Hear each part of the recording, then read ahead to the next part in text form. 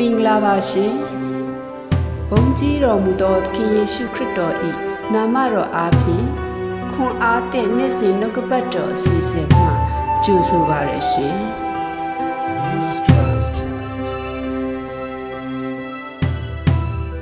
ရှုစွာဖျားသခင်ရဲ့ကျေးဇူးတော်ကိုချီးမွမ်းပါတယ်။ချီနှောင်ခြင်းမှာလွတ်ချင်းခံကောင်းကင်တမန်ဆို၄ပါးဆိုတဲ့ကောင်းစဉ်နဲ့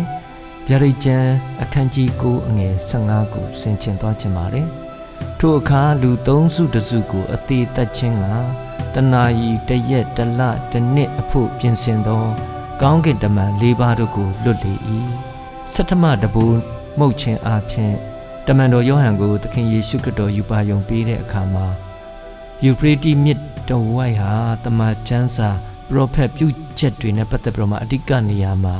ပါဝင်လာမယ်ဆိုတာတွေ့ရပါတယ်။ဒါဟာစတ္တမတဘူမှုတ်ခြင်းနဲ့အတူဒုတိယအမင်္ဂလာလည်းဖြစ်ပါတယ်။လာတော့မဲ့အချိန်တစ်ခုခုမှာသားရဲနဲ့မိစ္ဆာပရောဖက်တွေဟာကဘာကိုအုပ်စိုးလာတဲ့အခါမှာဒီယူဖရေတီမြစ်နားမှာချီနှောင်ခံထားရတဲ့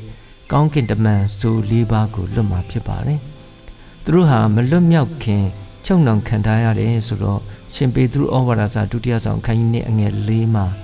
ပြစ်မှားတဲ့ကောင်းကင်တမန်ကိုဘုရားသခင်ကမနှမျောတဲ့အကြောင်းကိုဖော်ပြထားပါတယ်။ငရဲကိုချလိုက်ပြီးတော့မှစစ်ကြောစီရင်မှာဖြစ်တယ်။စစ်ကြောစီရင်ဖို့မောင်မိုက်တန်ကြိုးနဲ့ချီနှောင်ထားတယ်ဆိုတဲ့အကြောင်းကိုဖော်ပြထားပါတယ်။အခုသူတို့ကိုခဏလွတ်တာနဲ့ကဘာပေါ်မှာလူ၃စုတစုတေကြရမှာဖြစ်တယ်။ဒါဟာသူတို့အနေနဲ့လူတွေကိုလက်ဖြားပျက်စီးဖို့နောက်ဆုံး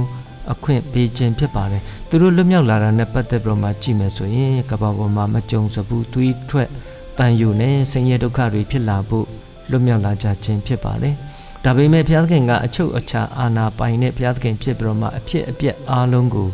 ထိန်းချုပ်ထားတဲ့အတွက်သူတို့ဟာဘုရားသခင်ခွင့်ပြုထားသမျှအကန့်အသတ်အတွင်းမှာသာလူတွေကိုဖျားယောင်ဖျက်ဆီးနိုင်ပါတယ်သူတို့လွတ်မြောက်ခြင်းဆိုတာကဘုရားသခင်အားကိုတော်ဟာ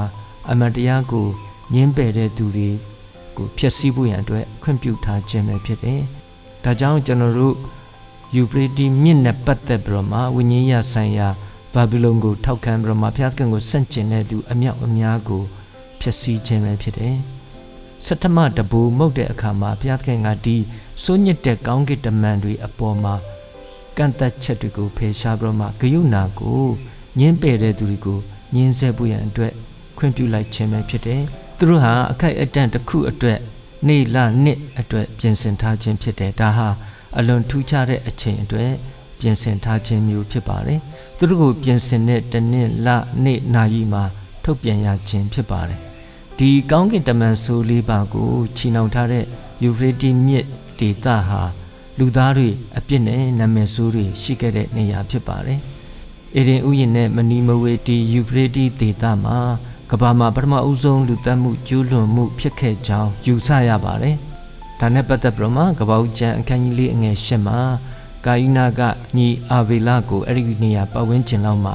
တပ်ဖြတ်ခဲ့တယ်ဆိုတာကိုကျွန်တော်တို့ယူဆနိုင်ပါတယ်။ဒါဟာဘာသာရေးကြောင့်ပထမဦးဆုံးလူသက်မှုလည်းဖြစ်နိုင်ပါတယ်။ကဘာဦးကျန်အခန်းကြီး14မှာကြည့်ရင်လည်းပဲပထမဦးဆုံးစပွဲတပွဲဟာအဲ့ဒီနေရာမှာဖြစ်ခဲ့တယ်ဆိုတာတွေ့ရပါတယ်။ကဘာဦးကျန်အခန်းကြီး10အငယ် ရှစ်ကနေ7နှစ်မှာကြည့်မယ်ဆိုရင်လေနေယောဒက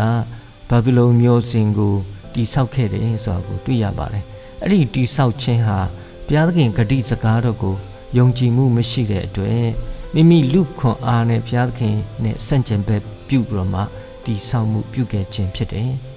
အဲ့ဒီလိုဘာဗီလုန်ရုပ်တုကိုးကွယ်မှုတွေပေါ်ပေါက်လာပြီးတဲ့နောက်အဲ့ဒီနေရာမှာပဲတရားစီရင်ခြင်းခံရမယ့်အကြောင်းကို ဇာခရီအခန်းကြီး9နဲ့ဗျာဒိတ်အခန်းကြီး18မှာတွေ့ရပါတယ်။လူတွေဟာဘုရားခင်နဲ့ဆန့်ကျင်ဘက်ပြုခြင်းရဲ့နောက်ွယ်တွေမှာကောင်းကင်တမန်ဆိုးတွေနဲ့ပတ်သက်နေတယ်ဆိုတာကျွန်တော်တို့ခံမှန်းသိရှိနိုင်ပါတယ်။ဒီကောင်းကင်တမန်ဆိုးလေးပါအပြင်လူတွေပူပြီးမှတတ်ဖြတ်မှုကျူးလွန်လာကြမယ်ဆိုတာဒီဖော်ပြချက်တွေအပြင်နားလည်ရပါတယ်။ဘုရားသခင်ရဲ့နှုတ်ကပတ်တော်အပေါ်မှာအာယုံဆိုင်ပြီးမှတမာတတိနဲ့အသက်ရှင်နေတဲ့ ကျွန်တော်တို့ယုံကြည်သူတွေအတွက်တော့ဒီဖြစ်လာမဲ့အဖြစ်အပျက်တွေဟာဘုရားသခင်ရဲ့ထိန်းချုပ်မှုများအတွင်းမှာသာရှိတဲ့အတွက်သခင်ယေရှုခရစ်တော်အားဖြင့်ဘုရားသခင်လက်တော်ထဲကိုရောက်နေတဲ့ယုံကြည်သူတွေအတွက်တော့၁၉ခုမြောက်သောဆာလံအငယ်ခွန်မှာဒါဝိဒ်ဆိုခဲ့တဲ့အတိုင်းပဲဘုရားသခင်ကိုခိုလုံတဲ့အတွက်လက်ရလက်တော်အားဖြင့်ကယ်နှုတ်မယ်ထူးဆန်းတဲ့မေတ္တာကိုဖော်ပြမှာဖြစ်တဲ့အတွက်ဂျာနာဆင်ချင်ခဲ့သူအားလုံးပေါ်မှာဘုရားသခင်အသက်တပံ ကောင်းချီးပေးပါစေအာမင်ဤခွန်အားသည့်နှုတ်ကပတ်တော်အစီအစဉ်သည်နေ့စဉ်တင်ဆက်သောအစီအစဉ်ဖြစ်သောကြောင့်စောင့်မျှော်၍ဝိညာဉ်ခွန်အားယူပါရန်မေတ္တာဖြင့်လို့ဆော်အပ်ပါသည်